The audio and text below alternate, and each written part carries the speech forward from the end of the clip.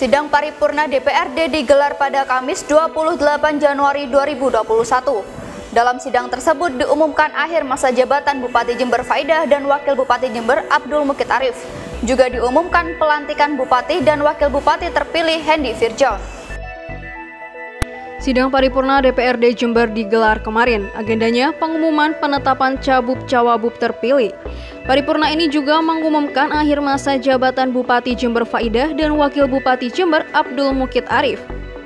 Selanjutnya paripurna juga digelar untuk mengusulkan pelantikan Bupati Jember terpilih Hendy Siswanto dan Wakil Bupati Jember terpilih Muhammad Balia Firjaun Barlaman. Pengumuman hasil penetapan Jember tahun 2020 sekaligus pengumuman akhir masa jabatan Bupati dan Wakil Bupati Jember masa jabatan tahun 2016-2020. Sidang ini dipimpin oleh Wakil DPRD Jember Ahmad Halim.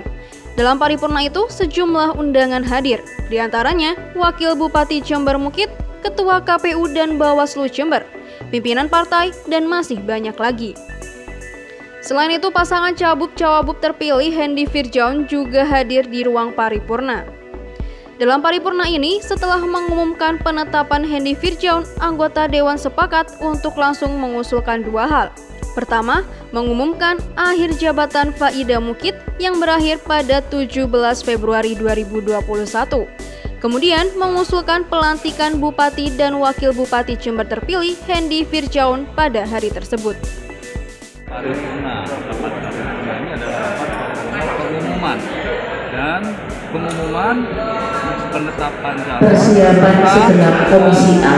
pengusulan pemberhentian serta pelantikan pengukuhan kepada calon bupati terpilih.